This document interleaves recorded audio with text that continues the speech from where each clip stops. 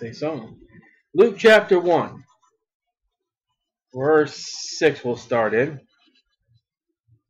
And they, and they were both righteous before God, walking in all the commandments and ordinances of the Lord blameless. That is Zacharias and Elizabeth. And they had no child because that Elizabeth was barren, and they both were now well stricken in years. We talked about that. And it came to pass that while he executed the priest's office before God, in the order of his course, according to the custom of the priest's office, his lot was to burn incense when he went into the temple of the Lord. All right. There is much. We left off in these 23, 23 words of this little verse. You don't think there's much there, but there are. In the custom, it says, the custom of the priest's office, Exodus 10.1. Exodus 10.1.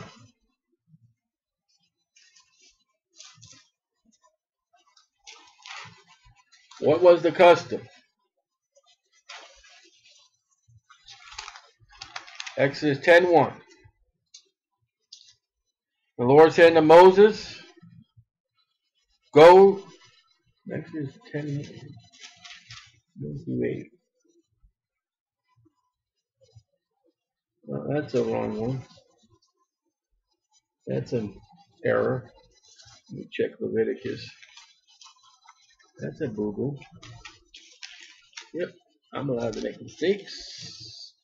For all have sinned and come to short the glory of God.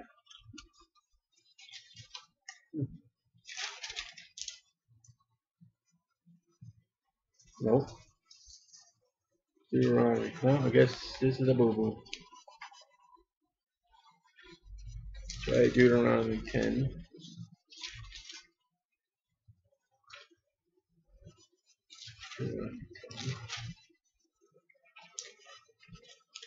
Oh. 10.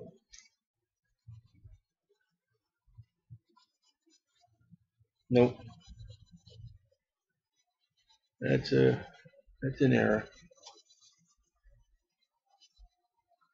Aaron the high priest was to trim the lamps and burn the incense along with his sons. Only, we've gone through this before in previous verses, only the priests were to be inside that building. No one else. In the first place in the New Testament, Hebrews 9 1.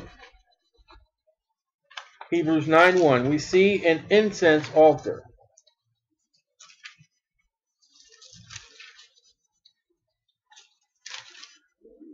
Mark this verse right here. It's wrong.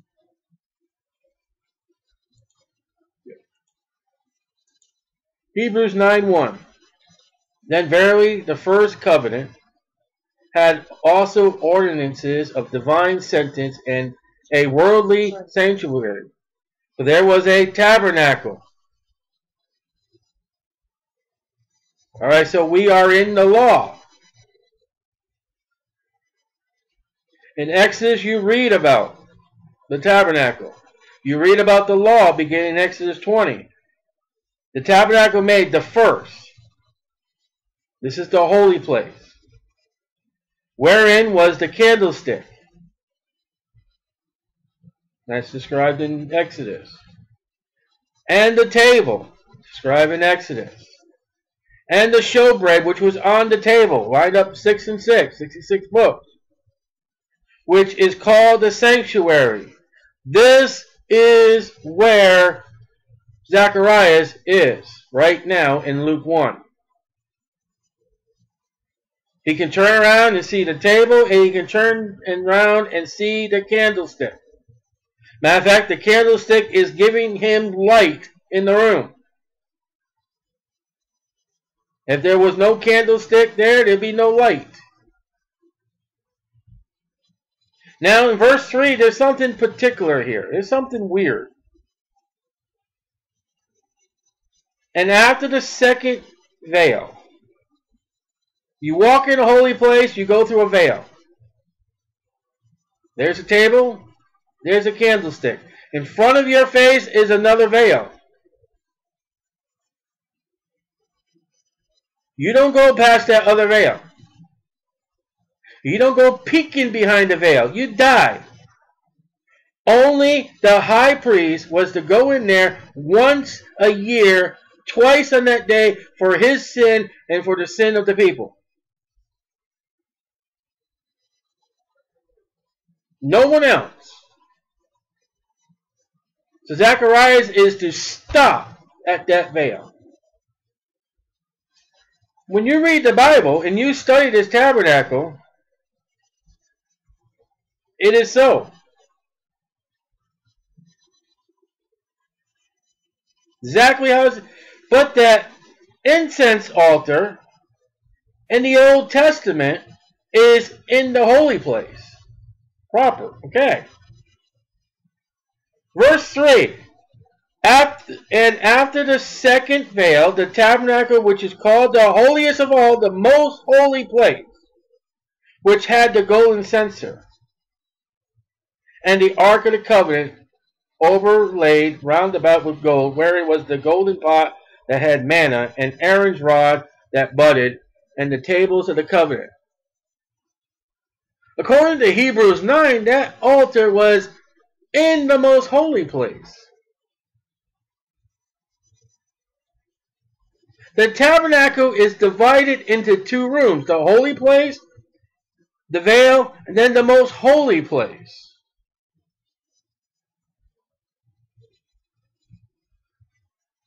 Now, the high priest, before he went in the Day of Atonement into that veil, opened that veil and walked into the most holy place, he was to burn incense so the cloud of incense, the smoke of, would go over the tabernacle, would go over the mercy seat, would go over the cherubim.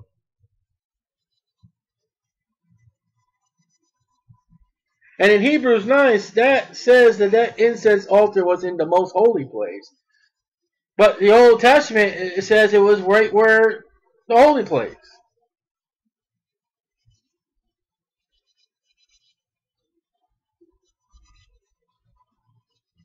I don't know how to explain that. But unless it was two parts. There was the altar itself, and then there was the, the incense pot. Because there was an incense pot.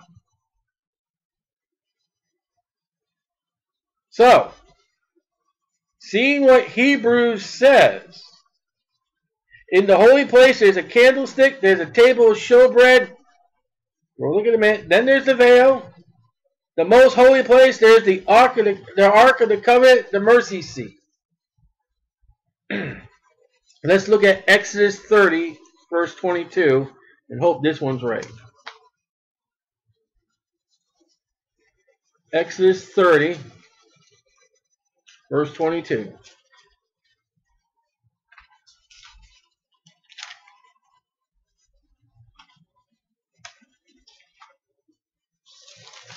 So we're going to get in with a little study of the tabernacle. Exodus 30, verse 22. Moreover, the Lord spake unto Moses, saying, Take thou also unto thee principal spices, of pure myrrh five hundred shekels, and of sweet cinnamon half so much, would be so would be 250. Even 250 shekels, and of sweet calamus 250 shekels and of cassia five hundred shekels after the shekel of the sanctuary, and of oil olive in a, and hin. And thou shalt make it an oil of holy ointment, an ointment compound after the ark of the apothecary. It shall be a, ho a holy anointing oil. Okay? This is the anointment that is used for anointing, the spices thereof.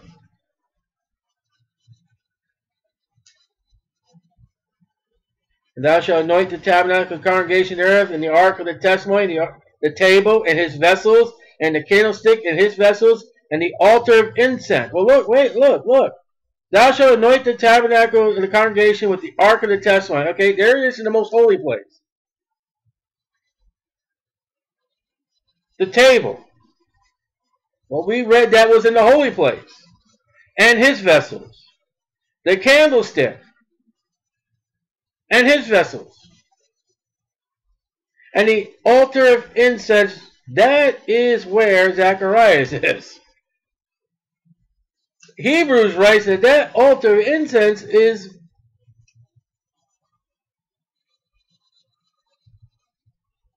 But if you go back to Hebrews chapter 9 and read, that altar of incense had to be up against near the veil. It was touching the veil. And yet it, it pictures prayer. Exodus 26, 33. Exodus 26, 33. Exodus 26, 33. And we'll start in verse 31.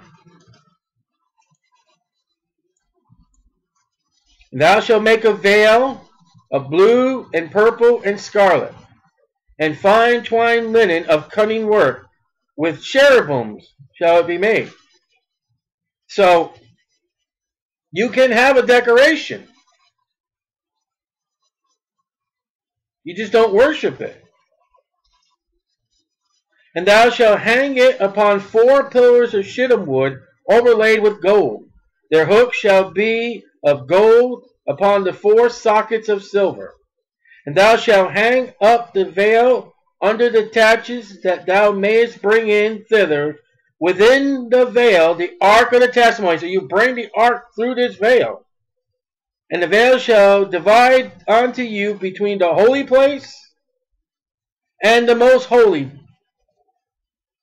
And thou shalt put the mercy seat upon the ark of the testimony in the most holy place.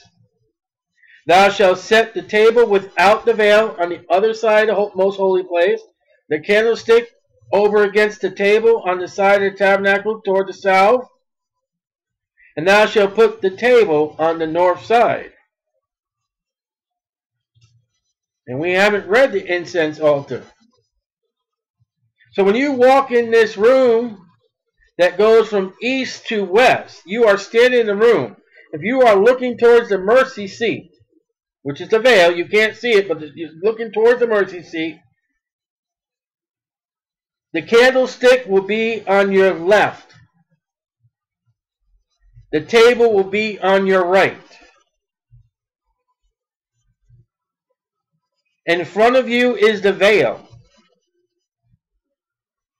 And up against that would be the incense altar. So Zacharias is right in the middle of this room. To the left, he's got the light. To the right, he's got the bread. And in front of him, he's got the prayer and the veil between him and God. Exodus 40, 23. Exodus 40, 23. So we're getting a little tabernacle study here.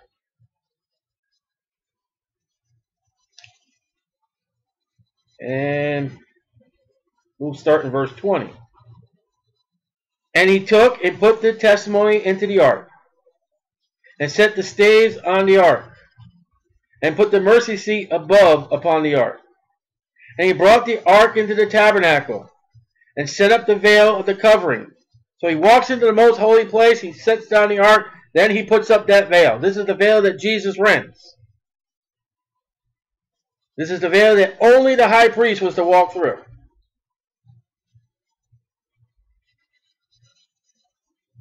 And set up the veil of the covering, verse 21, and covered the ark of the testimony as the Lord commanded Moses. Now he's in the most now he's in the holy place. And he put the table in the tent of the congregation upon the side of the tabernacle northward, without the veil. That veil was a center marking spot in that tabernacle. It is not on the holy, most holy place. It's in the holy spot. And he set the bread in order upon it before the Lord. Before the Lord means here he is. He's standing in a room right before God. The only thing that's standing between him and God is that veil. That altar incense in Hebrews 9 says it, it was in the it was beyond the veil.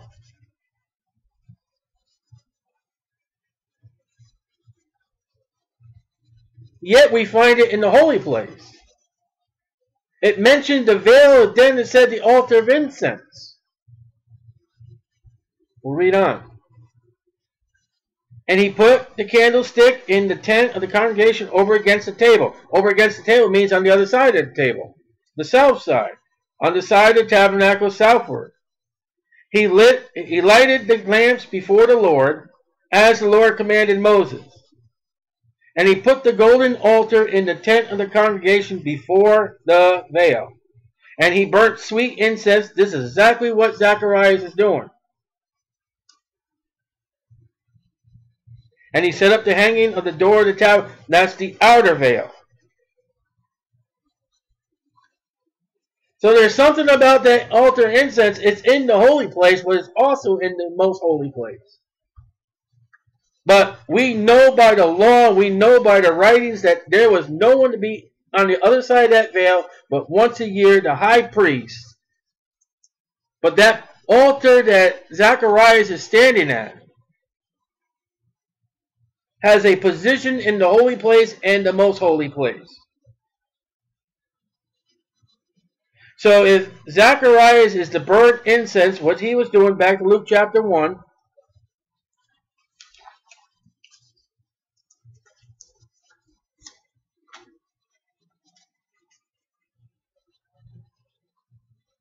Verse 9 says, according to the custom of the priest's office, his lot was to burn incense. So we are in the holy place. To the left of him is the candlestick, to the right of him is the bread. Now that pure candlestick used, I'm trying to say the Bible word, it's hard to put, oil olive. Now, when I stock shells, I there's times I had to stock olive oil. You know, they would get it wrong. And the bottle says extremely flammable. Now, I don't know if olive oil gives off a scent when it's burned, especially as a candle. I don't know. I never smelt it. Well, imagine he's got, if there's a smell to that, and then he's got that bread over there on the table. Imagine what that room would smell like. And now he's going to burn incense. Pure, holy incense.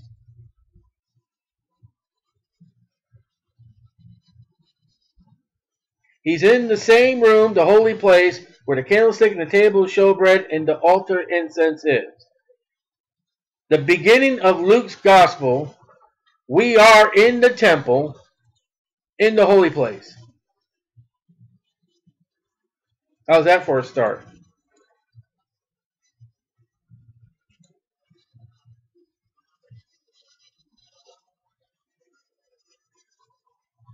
The only person that we read in the Old Testament that went into the altar of incense.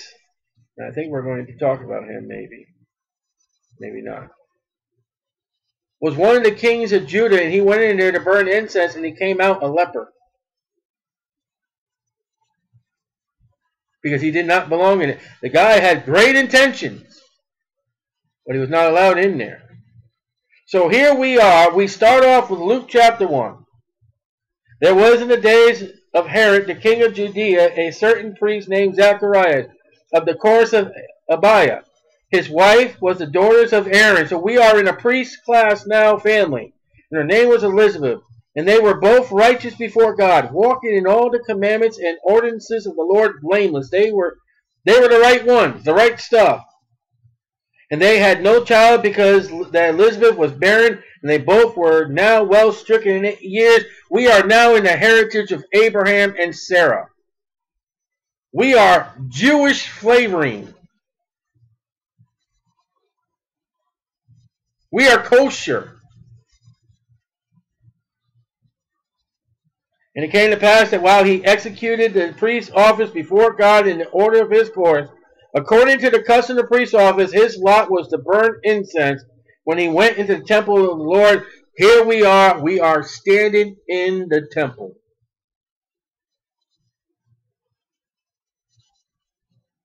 Luke is writing to Theopius, whatever his name is, a Greek. Luke chapter 1 verse 3. And he brings, the medical doctor brings his writing into the temple. You wonder if that angered some Jews. How dare you bring that Greek, that, that, that dog, into our temple? Luke is opening the door. Listen, Luke was written after Christ died, after, after death, burial, resurrection, the gospel. Luke writes his story, and guess what? Bring this Greek into the holy place. And when at the at the time that Luke is writing, that veil is rent. Or had been rent, they didn't sew it back. Since the veil is rent, Mr. Theophilus, come on in. Step through the veil. Woo-wee! Because look at verse 4 about that thou mayest know certainly those things which wherein thou hast been instructed. Theophilus, whatever his name is, uh, he'll smack me in the face when I get to heaven. Probably not. If he's a brother, he needs to love me, and I'm to love him. Is brought in to where no Jew was allowed to go, but of the priest. Mr. Theophilus, walk in, you see where Zacharias was? Let me take you even further. Okay. And the only place, only only the priests were permitted there. Look at verse 51. Chapter 1, verse 51. And I don't know where I'm getting these verses. They're not 151, Luke 151. They, they're making quite a bit of mistakes here. Well, that's another bad one.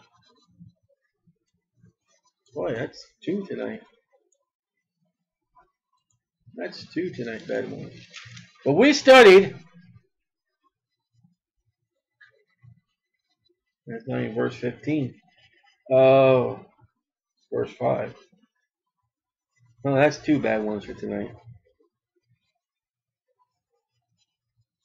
Okay, now, move on. Only priests were be permitted there. We talked about that last time. Morning or evening. Now, there was a sacrifice of a lamb in the morning. There was a sacrifice of a lamb at evening. Was the burning of the incense. So Luke 1 9 is either in the morning or it's in the evening. 50-50.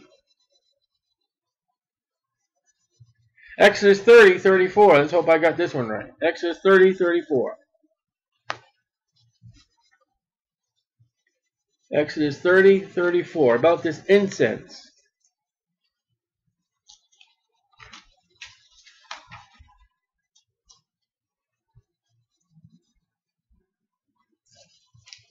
Exodus 30, 34.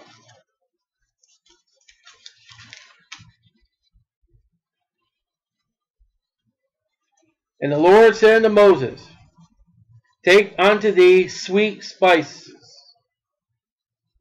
sakaki, sak, staki, and onycha, and galbanum. These sweet spices with pure frankincense. Of each shall there be a like weight. In other words, you take them all the same amount of weight. And it doesn't give you the weight. Only Moses knew, and the priest. And thou shalt make a perfume, a confection, after the ark of the apothecary. Now that, that guy would be your druggist. The old-fashioned druggist that would make your, you know, he didn't pour pills, the apothecary didn't pour pills from one bottle to another. He would, if you went in there with, with a prescription to make, for aspirin, he would make the aspirin right there in front of you. His job is to meet all the spices and whatever needs to be meet together for what was needed. Tempered together, pure and holy. And thou shalt beat some of it very small, and put of it before the testimony in the tabernacle of the congregation, where I will meet with thee. It shall be unto you most holy.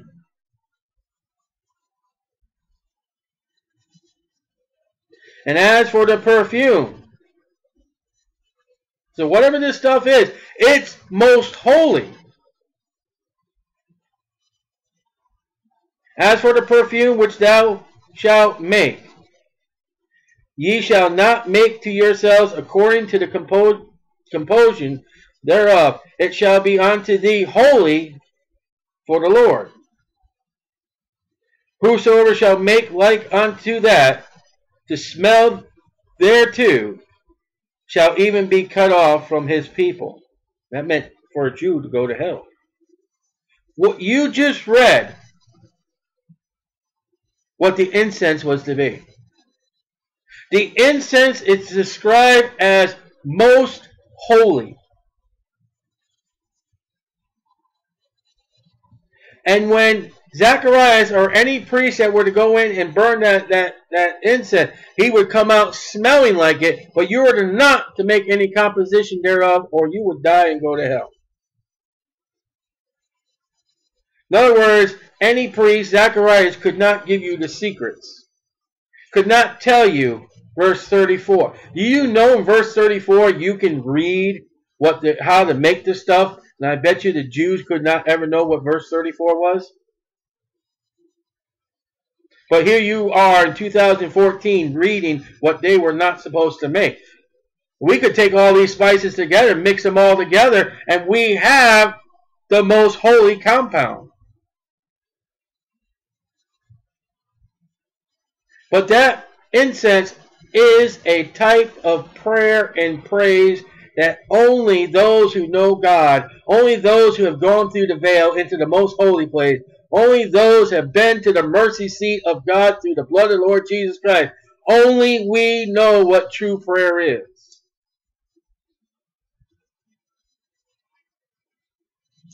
And we're seeing it in Zacharias in Luke chapter 1.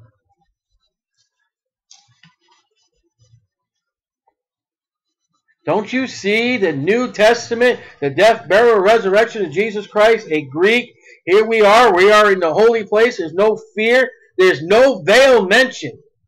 You got to go read the scripture with scripture. You got to study to show thyself approved unto God. But in Luke, there is no veil.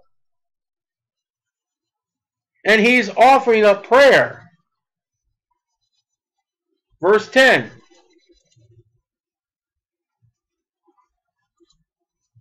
And the whole multitude of people were praying without, outside, at the time of incense. There's a time for prayer. The people are praying. The incense goes up before God. It is a time of prayer and it is seen in the incense. Scripture is scripture. Revelation 8 3.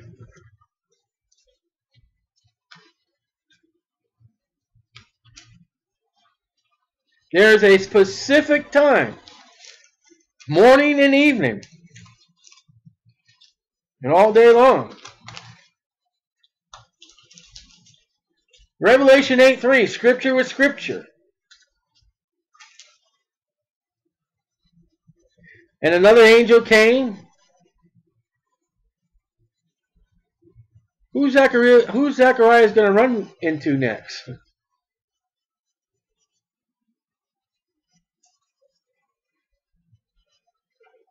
Are you telling me so far we're only 10 verses in the Luke that, that Luke just sat down one day and wrote a fairy tale about the Lord Jesus Christ? He's not even Jewish. Are you telling me there is no inspiration of Luke through the Holy Spirit to write down what he wrote in 10 verses already?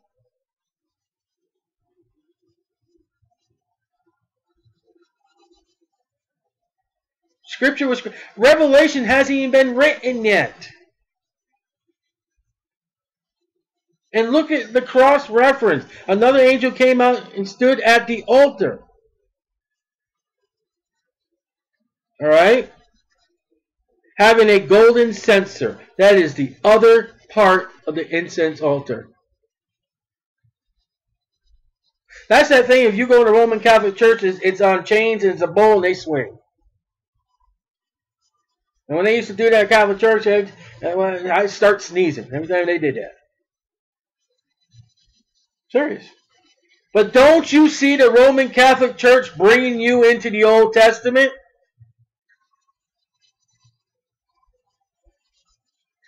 Tell me where the church age is to have a golden censer with incense in it. Show me. And in fact, I was so worried about these verses one time. I went to my pastor, Pastor, is it okay for us to burn incense? He said, Yeah, I mean, they're good smelling. I mean, if you do it for an odor of the house, yeah, that's okay. There are people who do it for incense worship of, of their fallen gods. That's wrong. There are people who burn incense to, to, to cover the fact is they're, they're smoking things they're not supposed to be smoking. Do you know what the what what the what uh, Exodus called it? They didn't call it a perfume? There are some people who put perfume on to cover what they're not supposed to be doing. Jezebel painted her face. That's something else. Golden censer, and there was given unto him much incense. What do you think it was made of? Scripture was scripture. Read back Exodus 30. That he should offer it with the prayers of all saints.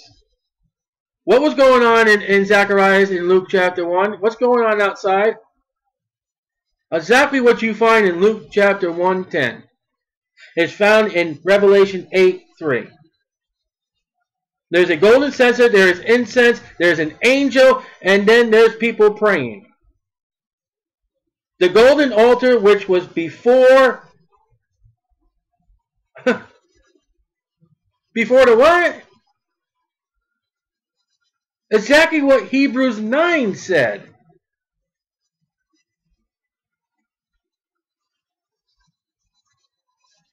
There is something weird about that incense altar. Because the law tells us it's on the other side of veil. This side of Calvary, it has gone before God.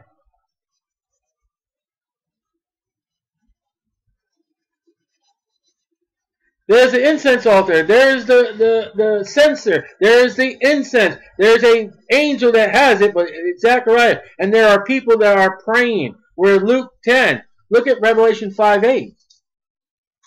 Three times is a charm, isn't it? Revelation 5 8. And when he had taken the book, the four beasts and four and twenty-four elders fell down before the Lamb, capital L. There's the Lord Jesus Christ. We just read in 8 3 before the throne, God's throne. Now here's the Lamb. Having every one of them harps.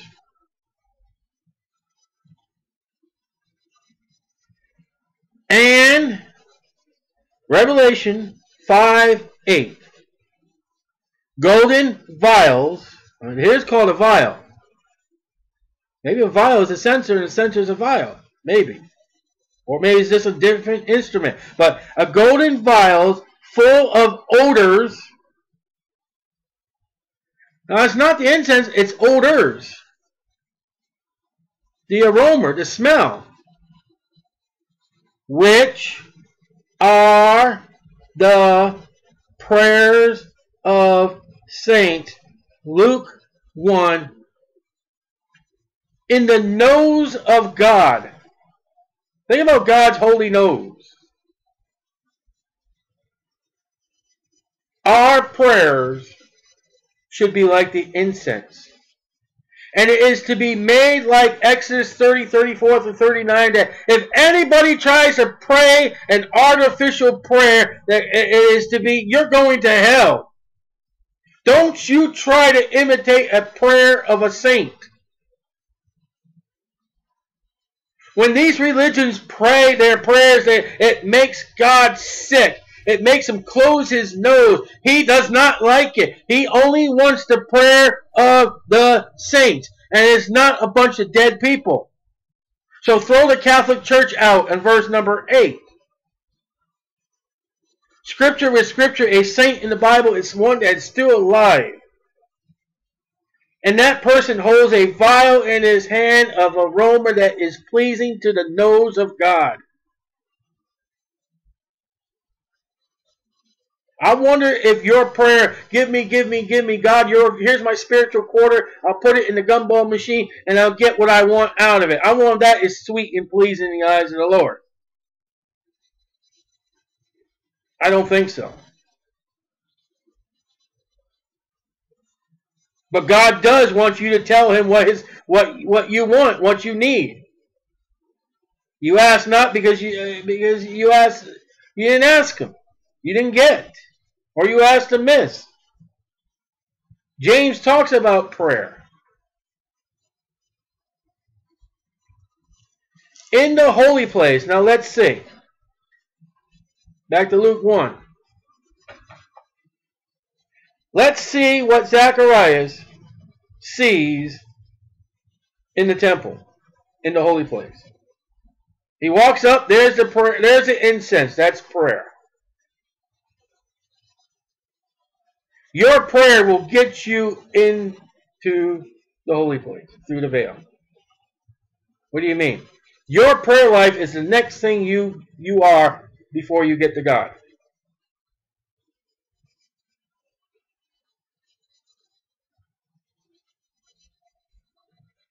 All right, let, us take it like this. You walk in a room. Here you are. You walk through the outer veil. You're in the holy place. You see the, the light. That's the candlestick. Jesus is the life, John chapter 1. I think he had a nail in his left hand. All right? He looked to the right. There's a table of bread. Jesus said, I am the bread of life. There's a nail in the right hand. Look at that. And before him, before the veil, is the incense altar. Didn't they? Didn't Moses tell them on the Passover night there to put that blood on three places? On the sides of the door, one and two, and above the door. Pictures the light, the bread, and the prayer. Listen, Jesus is praying for us today, the Bible records. The Holy Spirit is growing for us, the Bible records. That bread is laid out six and six, 66 books that we have in our Bible. Man shall not live by bread alone, but by every word that proceeds out of God. How's that? If you don't have Christ, you don't have no light. You're in darkness, John chapter 3. And then once you have the word, once you have the light, you have received Christ, now you've got prayer. You've got true, sincere prayer. The only prayer that God acknowledges. You know, you already been through hell, the altar, the brazen altar outside. You saw you were going to hell. And then you were washed. So the first thing you do after salvation is you get baptized as a public view of all of what you've done. It's not salvation. It's a testimony. And then you walk into the holy place where Zacharias is. There's the light. There's the bread. There's the prayer. And then you don't have no veil in your way. You walk right into the veil because it's been rent. And there you are, Paul says, seated in heavenly places. Now, you weren't sitting in the mercy seat, but you could sit right down there before the ark and have sweet fellowship with the Lord.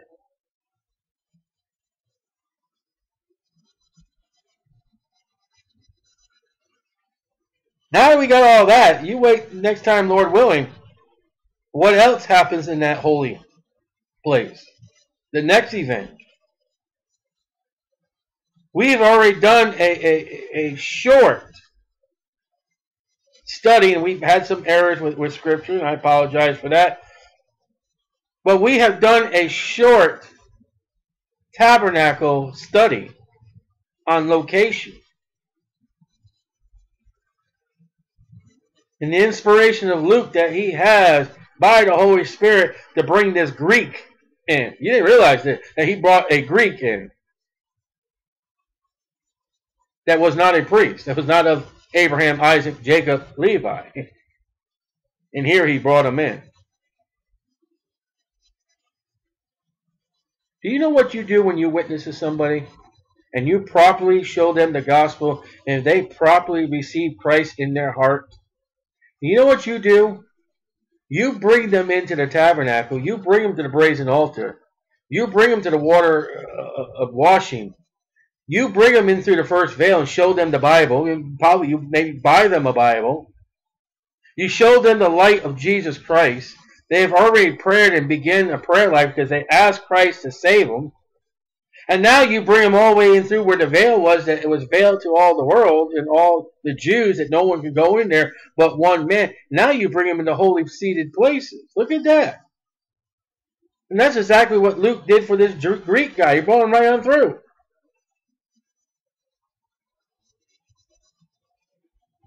Luke is going to be a great, interesting study as we continue. We've only done 10 verses. And look where we've been so far. I mean, what was a television to go nowhere? Listen, we've gone, we've gone no, how can I say for, we have been to places where no Jew has been.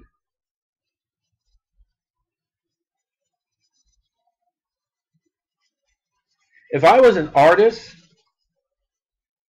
I could draw, if I was an artist, I could draw what no Jew has ever seen, but the priest.